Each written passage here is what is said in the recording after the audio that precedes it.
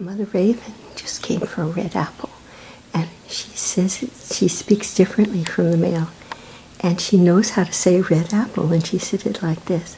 Oh, oh, oh. Pretty cool, huh? I hope I said it right. Her voice is more musical. She doesn't use consonants. She goes, oh, oh, oh, like she really loves it. But, the male raven, Mr. Raven, he doesn't like apples very much at all.